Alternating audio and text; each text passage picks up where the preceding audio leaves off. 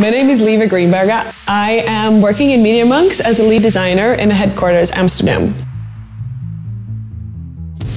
Oh, I was a naughty kid.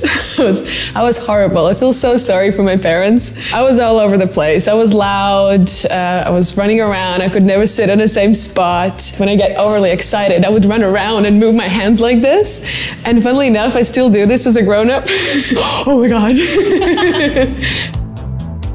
As a lead designer at MediaMonks, the first thing that I do when I come in, I check with my team. I check in what projects they are doing. Is there any struggles or issues? We have a look at everything. And that's actually one of my favorite parts of the day. I'm trying to lift up the attitude and positivity as much as is possible. I try to encourage them and make them feel like I'm always there for them. Because I feel like if you give the right, great energy to people around you, you actually get exactly the same. And then the talent and the growth is capped happening within this positive and great environment. I am very, very proud of my team.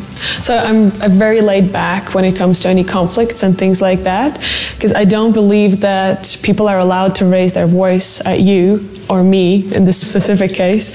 If the person raises the voice, I cannot hear the thing that the person is actually saying, and the person cannot hear the answer that I'm giving him back. I've been in a situation once where I had an appropriate situation with someone I worked with. I actually uh, tried to solve it myself. It didn't really work out, and as soon as I involved more people in solving this inappropriate situation, I was accused from this person about jeopardizing his position which actually made me to think about that uh, did i did the right thing? After a couple of days um, i had someone who gave me a feedback saying like oh i wanted to let you know that this is really good that you actually spoke up about what happened to you Balancing my pressure when I leave the office is actually something very new that I've just learned very recently. And I've actually learned that I am so much better at what I do now when I'm better at balancing these two things.